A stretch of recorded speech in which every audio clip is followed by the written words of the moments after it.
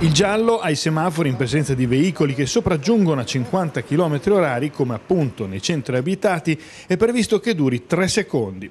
Tre secondi sono veramente pochi e può accadere così che se non ci si arresta per tempo si attraversi l'incrocio con il semaforo rosso per pizzicare quanti bruciano i semafori di giorno e ancor più di notte, dove la percentuale dei distratti, diciamo così, aumenta vertiginosamente, a Fano c'è già un impianto di telecamere in uno degli incroci più complessi della città, quello del Lido, dove sono stati installati gli occhi elettronici del T-Red che rileva istantaneamente ogni singola infrazione. Ora un altro incrocio cruciale della città, quello di via dell'Abbazia verso la superstrada e di fronte in via Papiria, avranno presto gli occhi di nuove telecamere per chi passa col rosso.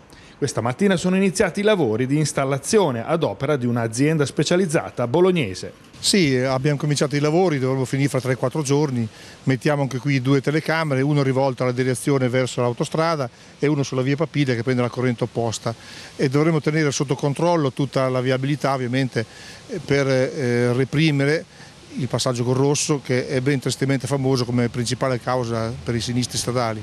Pertanto noi non è vero che mettiamo queste macchine, lo ribadisco ufficialmente, solo per far cassetta, non ci interessa far cassetta, non ci interessa la viabilità sicura. Approfitto per dire che il passaggio già è interdetto con la luce gialla, al giallo ci si deve fermare, non si deve avanzare il più possibile sperando che non si accenda il rosso. Al giallo, dice il nuovo codice della strada, ci si deve fermare.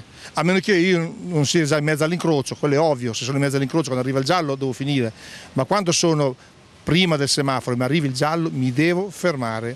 La norma dice questo, articolo 41, ci si deve restare al giallo, al rosso si sta fermi. Quando vado nelle scuole a fare l'educazione stradale, lo ribadisco, il codice è cambiato.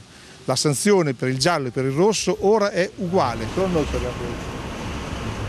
C'è la macchina che in pratica passa,